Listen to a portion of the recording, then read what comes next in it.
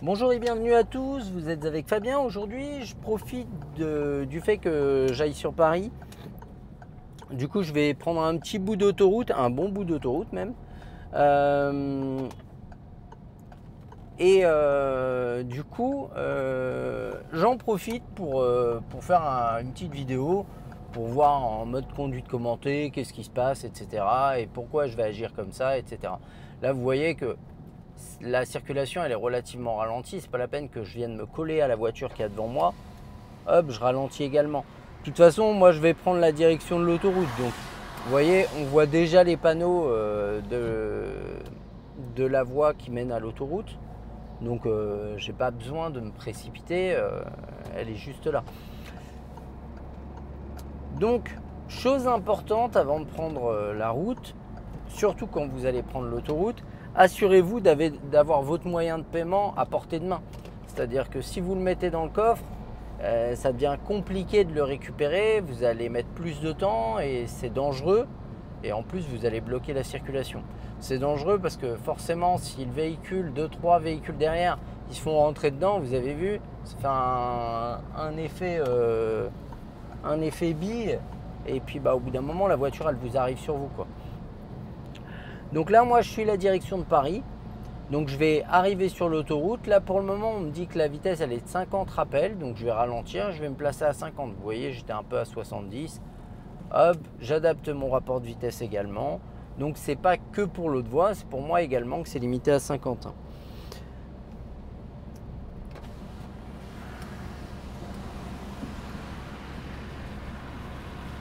Alors, donc là, on va rentrer sur l'autoroute. Donc on me dit que c'est toujours limité à 50 km/h.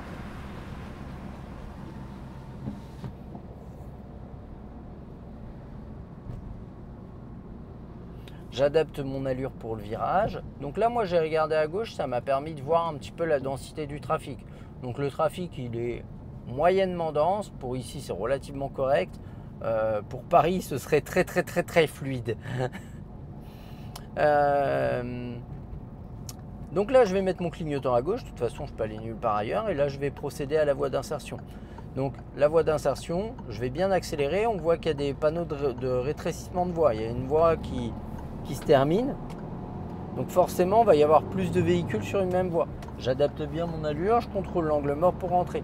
Si je peux dépasser le camion, bah, je vais le faire dès maintenant parce que je vais déjà plus vite que lui. Hop, et j'adapte mon allure et mon rapport de vitesse. Donc là, la troisième voie, c'est pas la peine que moi j'aille dessus, parce que j'ai vu qu'il y avait un panneau qui, la rétrécissait, qui, faisait qu'il y avait une voie en moins. Donc c'est pas la peine de s'amuser à aller dessus pour se rabattre juste derrière. Bon alors il y avait un panneau, mais euh, à mon avis le, le rétrécissement de voie il est, plus effectif. Hein. Donc là, la vitesse maximale autorisée est de 130 km/h, sauf indication contraire. Moi, je suis à 118. Voilà, 120. Est-ce que j'ai besoin de rouler plus vite? Bah, Pour le moment, non. Maintenant, je peux tout à fait rouler à 120 km/h ou 130 ou même 110 si je le souhaite. Mais vous voyez, le, trafic est relativement fluide. À cette allure-là, je suis plutôt bien à 120 km/h. Surtout que je sais pertinemment que plus loin, il y a un péage et que du coup, je vais être obligé de m'arrêter. Donc, je n'ai pas trop l'intention de rouler à... Hop, on va lui faciliter le passage, contrôle l'angle mort et je fais mon changement de voie. J'ai pas l'intention de, rouler à 130 pour me arrêter dans 1000 mètres. Quoi. il est un peu plus loin, un peu plus loin que 1000 mètres. Hein. Là, si je veux, je peux tout à fait mettre mon régulateur de vitesse. L'avantage du régulateur de vitesse, bah, c'est que j'ai plus besoin d'accélérer pour changer de voie. Euh, pour changer de voie pour maintenir l'allure. Donc là, je vais le caler à 130. Et vous allez voir que, tac, il est monté de lui-même à 130 km/h. Et il maintient la vitesse à 130 km/h. Donc si j'accélère, je vais pouvoir prendre de l'allure et le relâcher, il va se remettre à 130. Et il ne va se désactiver que dans deux cas. Le premier, c'est si je prends l'embrayage. Là, il s'est désactivé. On va le recaler à 130. Ou sur cette voiture, alors, l'embrayage, pas toutes les voitures. Chez Audi, tu peux, on peut prendre l'embrayage, changer de vitesse, il va se recaler à l'allure. Par contre, dès qu'on freine, ça désactive sur toutes les voitures.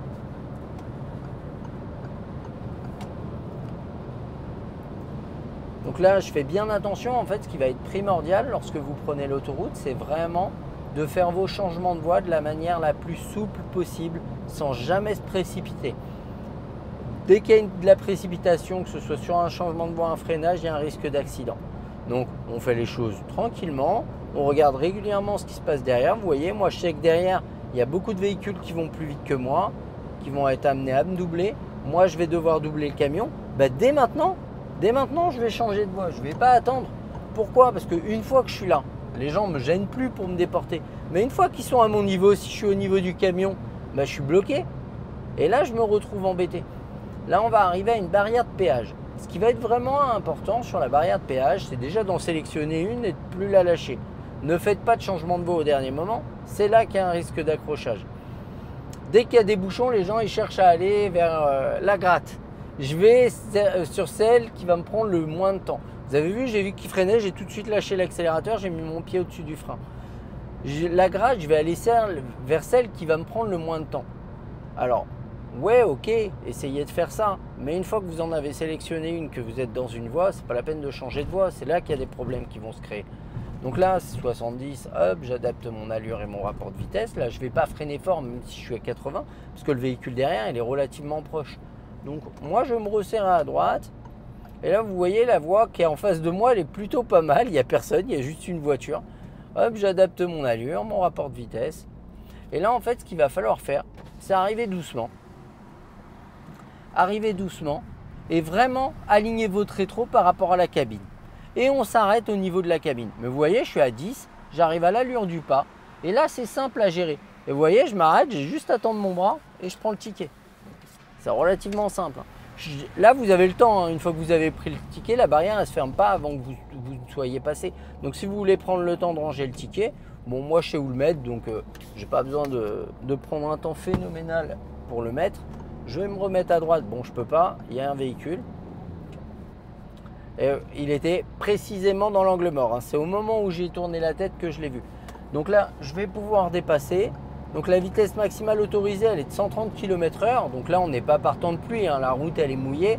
Euh, il n'y a pas, c'est pas les deux gouttes qui tombent. Euh, et vraiment, quand je dis deux gouttes, c'est deux gouttes.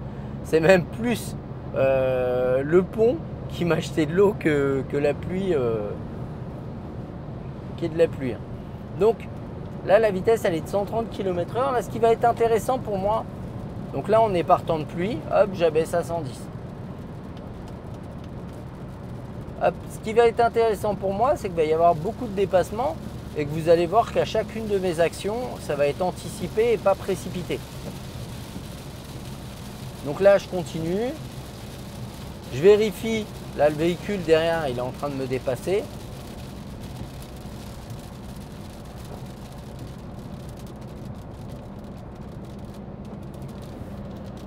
Et je suis à nouveau en train de me faire dépasser.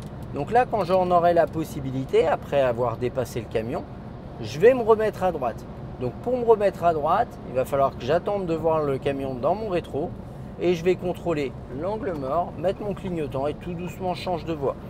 Là en fait maintenant je suis dans cette voie, je ne vais pas en sortir à moins que je n'aperçoive euh, des véhicules en panne ou un véhicule de service Auquel cas, si j'en ai la possibilité, je vais changer de voie. Si je ne l'ai pas, je vais fortement ralentir et me serrer à gauche, au maximum à gauche de ma voie, pour laisser un couloir de sécurité vis-à-vis des véhicules, ou des, que ce soit d'intervention ou des véhicules en panne. Donc là, je continue. Ma vitesse, elle est toujours limitée à 110. J'ai réaccéléré, désolé.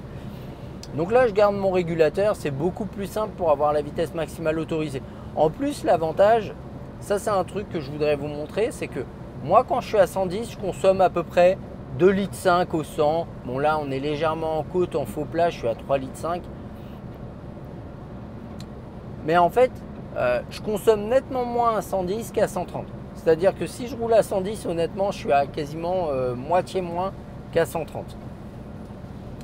Donc là, vous voyez, on est dans un faux plat en descente. À 110, je suis à 3 litres 8, 3 litres 7.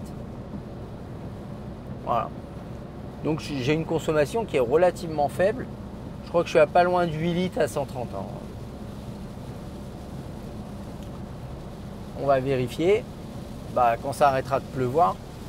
Donc là, je vais devoir doubler le camion. Dès maintenant, je vais m'en préoccuper. Je contrôle l'angle mort, je mets mon clignotant et je me déporte doucement. Voilà, pas de précipitation. Donc là, la vitesse maximale autorisée. Vous avez vu, là, il pleut et commence à y avoir de la buée sur mon pare-brise.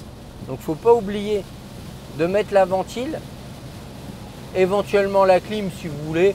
Moi, je ne suis pas un grand partisan de la clim, euh, à moins qu'il fasse vraiment très très chaud. Sinon, j'essaye de m'en dépatouiller, de m'en de m'en dispenser si j'en ai la possibilité. Donc là, la vitesse maximale autorisée est toujours de 110 km/h par temps de pluie. Donc je ne me préoccupe pas, je ne cherche pas à rouler plus vite. Là, vous avez vu, il y a un véhicule de chantier. Un véhicule d'intervention. Là, une fois que la BM m'aura dépassé, je vais pouvoir me déporter. Je contrôle l'angle mort, je mets mon clignotant et je me déporte. Et au véhicule qui est en train de me dépasser, de se débrouiller à se déporter également. Et il l'a fait hein, sans problème. Donc là, le véhicule d'intervention, vous avez vu, il a récupéré la voiture, il est reparti avant que j'arrive à son niveau. Donc là, après avoir dépassé le véhicule d'intervention, je me remettrai à droite. Donc, dès maintenant, tranquillement, je vais attendre de finir de dépasser le véhicule. J'attends que le véhicule il soit visible entièrement dans mon rétroviseur. Je contrôle l'angle mort, je mets mon clignotant. Et en fait, faites vraiment toutes vos actions de la manière la plus, euh, la plus zen possible. Je vais enlever le régulateur un peu histoire de récupérer les commandes. Donc là, je me stabilise à 110. Vous avez vu, je suis à 109 km/h. Pas un km/h près. 1 hein. km, en, 1 km à cette allure-là, ça se parcourt en à peu près 30 secondes, hein. un petit peu plus. Donc euh, je ne suis pas à 30 secondes près par heure. Je vais me replacer à gauche dès maintenant. J'en ai la possibilité, il n'y a personne, je ne suis pas sur le point de me faire dépasser et je fais mon changement de voie. Mais j'attends pas d'être au niveau du véhicule pour commencer à changer de voie. Parce que là, quand le, trafic il va être dense, ça va être beaucoup plus complexe.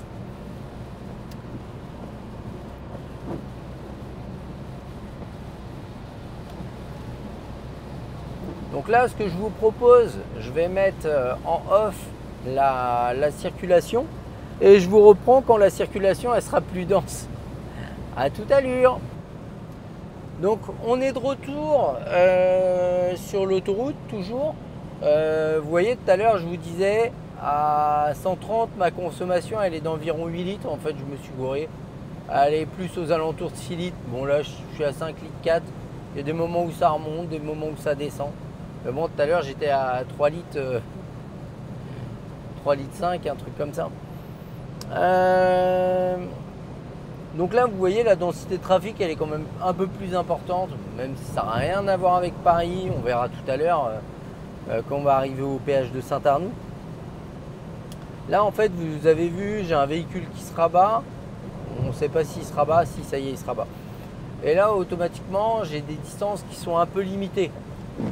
J'enlève 2-3 km/h de mon régulateur. Et hop, je recale.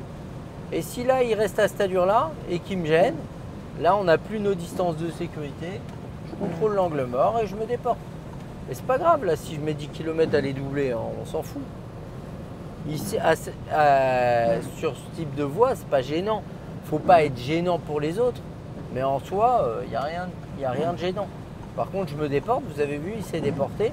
Du coup, il n'y a plus les distances de sécurité entre lui et moi. c'est pas grave, je me place là. Et si besoin, bah, je coupe mon régulateur, je laisse la voiture ralentir à 125. On n'est pas. J'ai rien perdu là. Hein. J'ai pas perdu 10 secondes. Hein. Sur mon trajet, là, si j'ai perdu 3 secondes, c'est un max. Hein. Par contre, je suis en sécurité. Et ça, ça est-ce que ça vaut pas 3 secondes de perdu? Ça, c'est une grande question est-ce que ça vaut pas 3 secondes de perdu? Et quand on commence à raisonner comme ça, déjà, c'est beaucoup mieux. Donc là, il y a des véhicules qui sortent, mais ils ne me gênent pas. Je suis sur le point de me faire dépasser, mais je suis bien placé.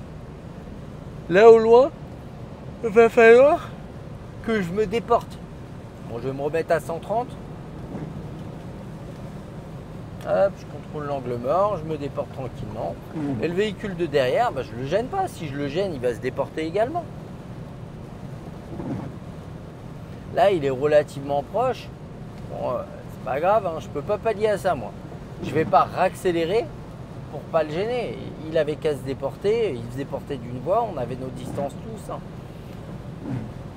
Donc là, je vais me rabattre entre les deux véhicules lourds. Je vais attendre que celui-ci soit dans mon rétro. Je contrôle l'angle mort et je me déporte. Alors oui, je le fais pas pour longtemps. Mais je permets aux gens de fluidifier le trafic et je contrôle l'angle mort et je me déporte. Et puis en plus, ça a un avantage. Bon, lui, il m'enquiquine, euh, Mister. là. Ça a un avantage qui n'est pas négligeable. C'est que euh, ça me permet de moi rester alerte. C'est-à-dire avoir des actions quand je suis sur autoroute, ça me permet de rester euh, mobile. Dans, que ce soit dans mon regard, dans... et c'est ce qui va limiter la baisse de concentration. Alors que si vous roulez en ligne droite comme ça, vous ne parlez pas, vous dites rien, bah, au bout d'un moment, ça vous emmène. Donc là, je garde mon allure, 130. Bah, je vais baisser parce que je viens de m'apercevoir, il pleut. Donc je vais me remettre à 110, c'est pas grave. Hop. Et je vais me replacer derrière la voiture.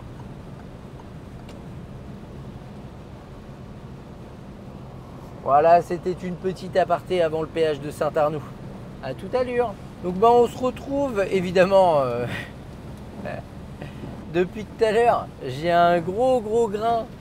Euh, il pleuvait fort. Je me suis dit bon, ben, on va en profiter pour faire un petit un, petit laïus là-dessus.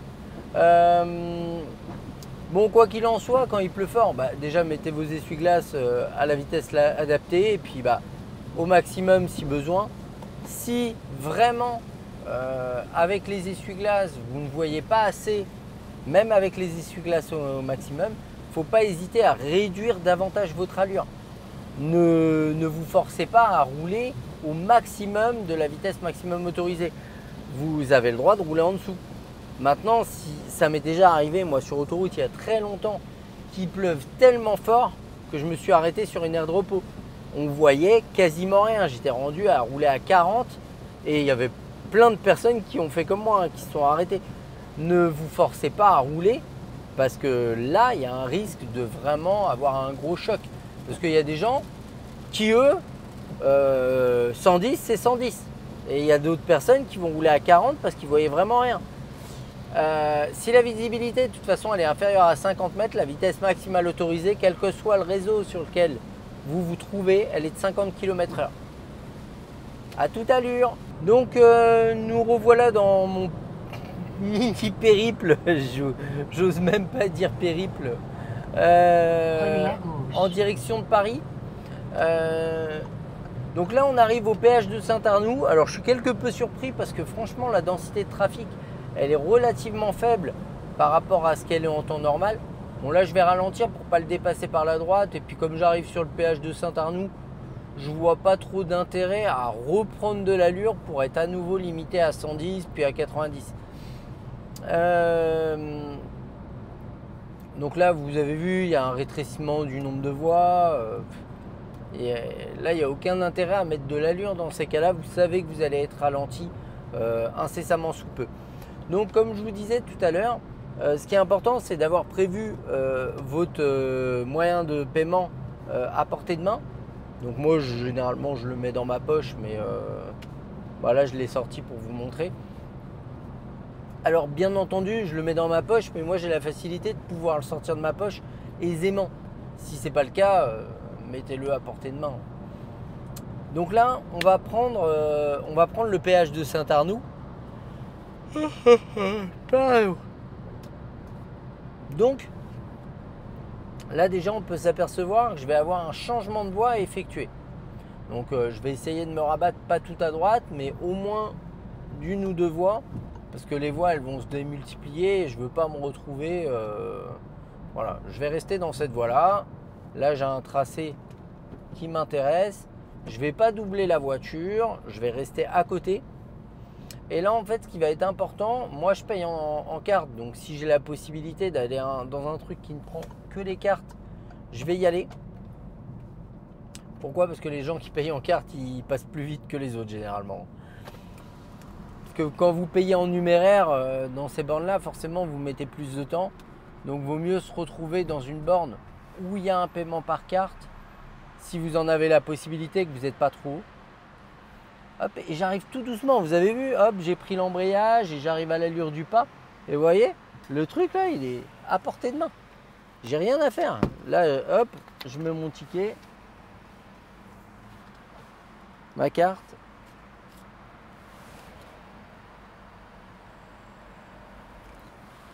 Et là, je peux prendre le temps que je veux. Je range mon truc, je referme ma vite si j'ai envie. Ça va pas se refermer tant que je suis pas passé. Il n'y a, pas, a pas à se précipiter. Alors moi, je prends pas de ticket. Si vous voulez un ticket, bien sûr, vous appuyez sur ticket. Et là, je surveille un peu ce qui se passe autour de moi. Je peux dynamiser, bah, je dynamise. Hop, je vais venir chercher cette voie-là.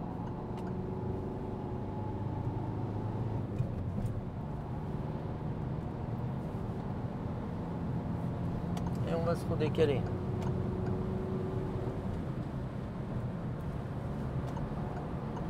et je vais revenir voie du milieu maintenant. Et là, en fait, si j'en ai la possibilité, je vais revenir, hop, encore d'une voie à droite.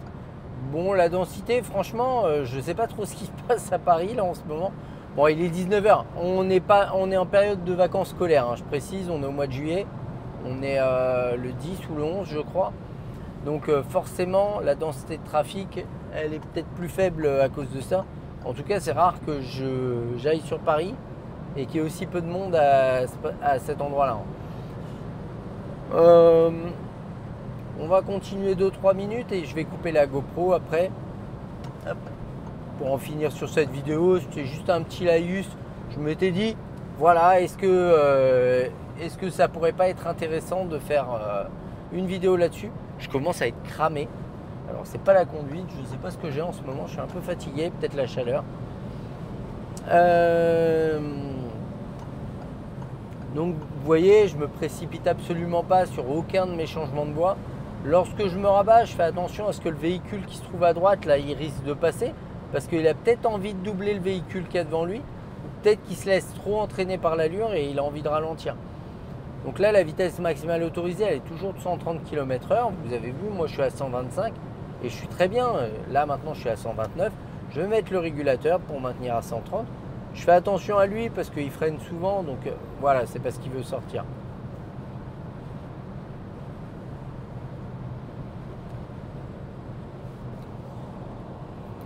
Bon après la, la, route c'est une ligne droite, je pense pas qu'il y ait grand chose d'intéressant à découvrir euh, dessus. Voilà donc euh, j'espère que ce petit laïus vous sera utile. Dites-moi ce que vous en avez pensé. Euh, n'hésitez pas à liker et à vous abonner. Je vous dis au revoir et à bientôt pour de nouveaux tutos. Ciao